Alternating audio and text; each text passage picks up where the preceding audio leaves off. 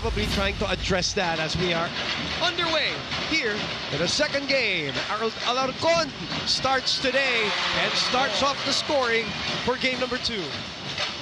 Delasilda starts today. He also had a little bit of an ankle issue against DLSU the last time out. Good to see him healthy enough to start as Alarcon goes back to back. Watch this game on any device in the Philippines or abroad on the Pilipinas Live app. Now back to you, Boom and Coach. Thank you, Cheska. I want to go back to Cheska's report a little later on, but first, let's look at this Francis Lopez mid-range jumper. Lopez is one of the better players in the UAAP. And of course, we know he's very athletic. Padrigao with the floater. Baila.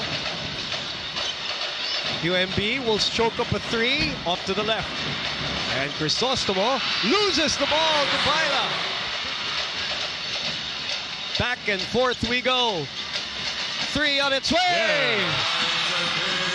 Brought to you by Yamaha Mio Gear. Play your tough. That's a great move there by Alarcon. And he's going to have a chance for a three-point play. He has played off the bench for the first seven games of UP. The takeaway by the Fighting Maroons. Three on one. Lopez! Oh. Smackdown time! At the Coliseum. This was the takeaway. Coach Norman, take me through it. Well, nothing that the defense could do on this as Lopez just has tremendous athletic ability. And Our first quarter, Cabañero, as we mentioned earlier in the ball game, off the bench for the very first time in season 87. Manaytay puts it on the floor, puts it up and in. up against UP is how to match up against their size. I mean, they're a very tall team. Cabañero with a space maker.